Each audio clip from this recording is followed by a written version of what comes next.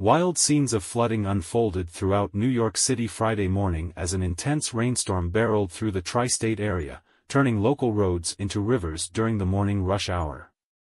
Videos showed cars plowing through knee-deep water in Brooklyn's Sunset Park neighborhood, with a whirlpool seen swirling in the middle of the waterlogged road.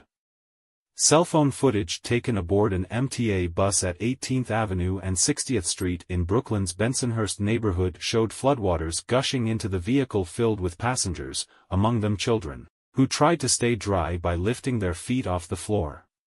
The Big Apple's major roads fared no better, as the Brooklyn, Queens Expressway, the Belt Parkway and Prospect Park Expressway all turning into rivers teeming with partially flooded cars trapped in bumper-to-bumper -bumper traffic. The storm also drenched parts of the city's subway system, turning a staircase at the Grand Army Plaza station on the two-thirds line in Brooklyn into a waterfall, as seen in a bystander's dramatic cell phone video. The MTA has suspended service on 17 lines in Brooklyn due water on the tracks. Subway lines citywide are expecting delays and service changes, the agency said Friday.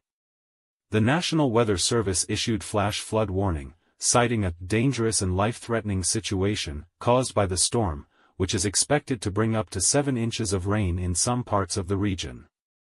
Do not attempt to travel unless you are fleeing an area subject to flooding or under an evacuation order, an emergency alert sent out late Friday morning warned.